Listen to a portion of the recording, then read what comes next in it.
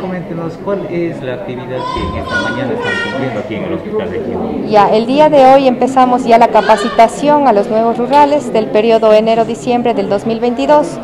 Va a ser capacitado por el proceso de estadística, por el proceso de vigilancia, de provisión y de promoción. ¿Cuál es el objetivo de esta capacitación? ¿Qué es lo que se capacitan? Ya, el objetivo de la capacitación es eh, indicarles a los chicos los lineamientos con los que se debe registrar y la atención a los pacientes. ¿Quiénes son los- las personas?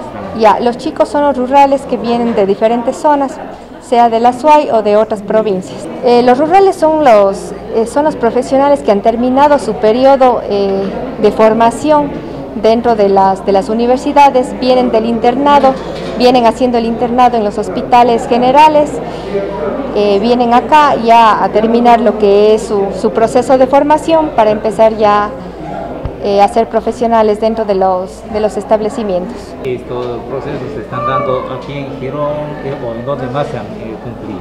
Ya, el proceso de capacitación se va a realizar acá en el, en el Cantón de Girón para todos los profesionales que están dentro del Distrito 01 de 03.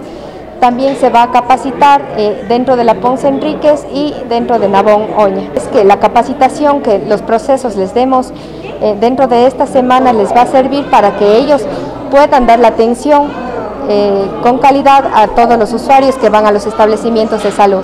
Claro, estos médicos que vienen eh, en este periodo son reemplazos de los anteriores rurales. Ellos vienen a cumplir sus funciones dentro de medicina, de odontología, hay enfermería. En total, ¿cuántos médicos son los que eh, vendrán acá al Cantón Girón? Para el Cantón de Girón, eh, hoy se capacitó eh, alrededor de 12 profesionales, sin embargo, esto es una tentativa, eh, luego ya eh, los procesos indicarán los, los, pas- eh, los, eh, los profesionales que vengan ya acá. Son distintas áreas las que vienen a cubrir. Sí, hoy eh, capacitamos a médicos, capacitamos a odontólogos eh, y a licenciados. ¿Desde cuándo? Eh, bueno, los rurales eh, van a estar esta semana en capacitación dentro de los tres cantones. Para la próxima semana se estima que ya empiecen sus labores. Los médicos serán distribuidos en los distintos centros de salud de Girón. ¿Cuáles son los centros que serán distribuidos? Bueno, eh, van a ser distribuidos dentro de la Nidada de Girón, dentro de San Fernando, San Gerardo, Chumplín, La Asunción.